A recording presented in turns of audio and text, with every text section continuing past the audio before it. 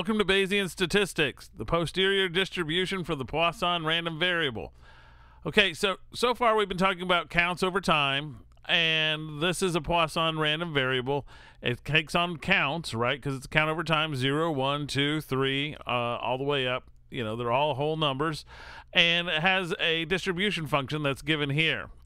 And then we were talking about, well, how would we put information into this distribution? Well, lambda here is its mean. And if we can put information in about lambda in the prior, then that will give us a way to influence uh, or um, direct the probability in the right area that incorporates our prior information.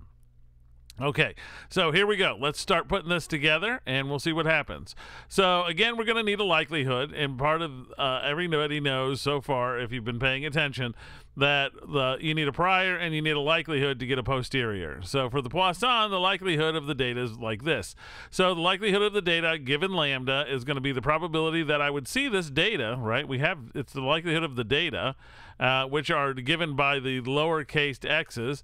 So the probability that x1, the random variable, equals the little value x1, capital vari- a random variable x2 equals the value little x2, uh, or the random variable xn equals a little value xn.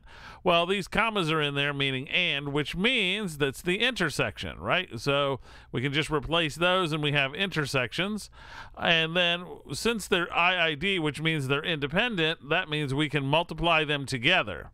So we can look at each one individually and just multiply those probabilities together. And this only works if they're independent uh, which means each one of the distribution functions that I had before, I can just take and just add a little subscript to each of the x's, and bingo, I have it in this fashion.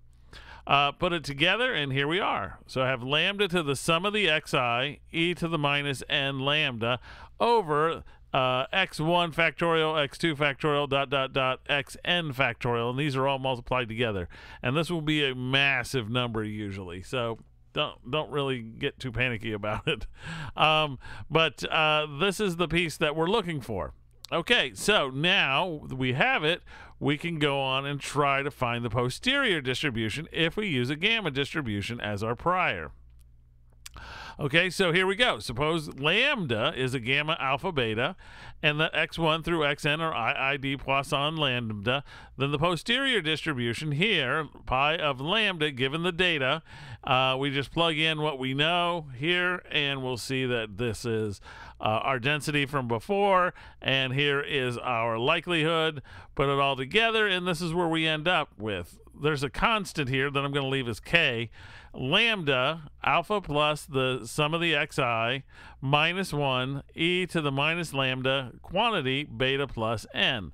Well, if I stare at this, this is a gamma distribution with a the first parameter alpha is alpha plus the sum of the xi and the second parameter is beta plus n. Uh, so this is pretty easy to calculate. I mean, if you look at it, it's ridiculously easy to calculate. Uh, but we have to use, we'll use R to help us handle the gamma distribution function and calculate that for us. But the other pieces to put into it are pretty easy. Uh, so we have it. Here we are. So let's look at an example. Uh, here's everything uh, put together for us, all on one slide. If you want to pause it and copy this down, this is the setup and this is the answer. Okay, so Alejandro is interested in the number of attempted hacks to a computer network per hour. He defines this uh, to be attempts to log in from outside the local area network. Um, and since all the machines, if you're coming into this these machines, you have to go through a VPN if you're outside the local area network which would register as a local area network. So he, it's clearly defined what it is. So it's clearly defined Bernoulli event, and he's counting the number of hack attempts in an hour. Uh, definitely a Poisson random variable, uh, provided he samples in such a way that they're independent of each other. Um, so he thinks on any given hour, an average of nine attacks occur. So if he did this, he set uh, gamma 18.2 as the prior distribution for lambda since it has an expected value of 9 which is exactly what he thought an average of 9 this isn't the only parameterization. This is the one that works right? Uh, remember this is lambda or alpha divided by beta is the mean Okay, so now I have this information. He studies the design, so across the next two weeks, he randomly samples hours and looks at the attempted hacks per hour. This generates the following data. Here's our values 12, 11, 15, 2, 9, 12, 13, and 10. So here's our data that he observes uh, from his, his particular uh, study here. Well, we don't want to stare at the numbers. Uh, let's break it down or summarize it for ourselves to help us out here. So we can turn this into, well, n is equal to 1, 2, 3, 4, 5, 6, 7, 8. And if you add up all of these numbers, you will end up with 84. Okay? So we have all the pieces we need now here, right? We have our uh, prior distribution, we have which is alpha and beta, we have n, we have the sum of the xi. Our posterior distribution of lambda given the data is this. Start plugging things in. Alpha is 18, uh, beta is 2, n is 8, and the sum of the xi is 84. So we'll end up with a gamma 102, 10. Okay, now that we have this, we can make inferences about things. So, uh, one thing you might want to do is get a 95% credible interval for lambda.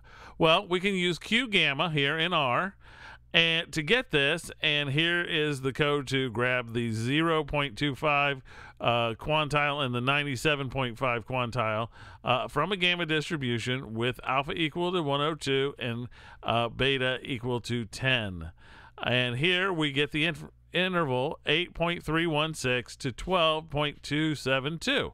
So there's a 95% probability that the mean number of hacks per hour is between 8.316 and 12.21 or 272. Uh, we can also use this uh, to just go directly at the mean and the variance here. So here's the basic summary. I'm just using the alpha over beta formula from before and I'm plugging everything in here.